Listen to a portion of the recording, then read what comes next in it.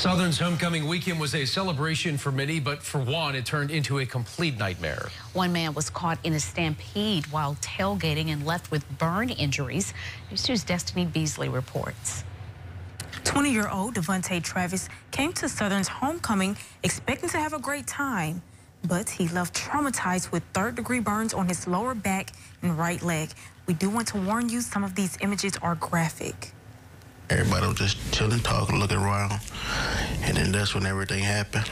In a matter of seconds, a fun time turned into what some would call chaos. Devontae Travis says he was caught off guard as a stampede of people rushed past him. Everybody took off running, and when my back was still turned, I got knocked down when everybody took off running. And as I'm trying to get up, somebody knocked a pot of grease on my leg I was trying to get up.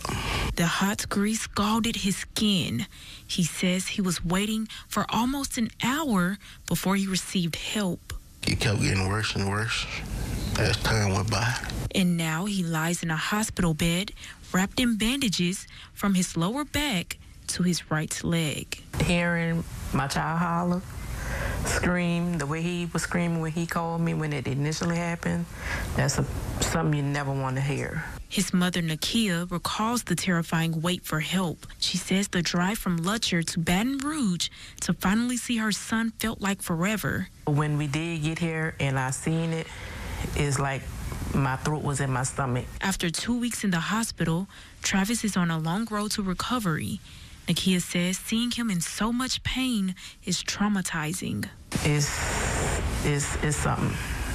It's an experience I wouldn't wish on nobody.